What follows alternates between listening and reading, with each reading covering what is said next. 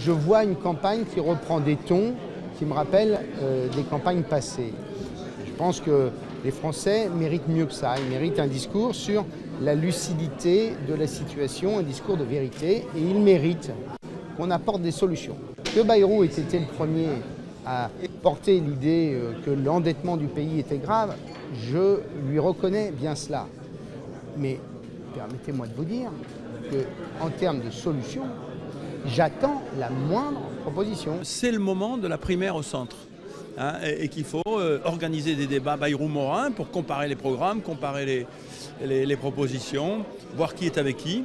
Moi, j'ai, euh, en l'espace euh, de un mois, présenté des solutions permettant au pays de se redresser et de réduire son déficit. J'ai notamment proposé la semaine de 37 heures, parce que je pense que si c'est un effort partagé, si tous les Français décident de mettre un coup de collier, eh bien, ça va réduire les déficits, améliorer la croissance et nous permettre de repartir de bons pieds.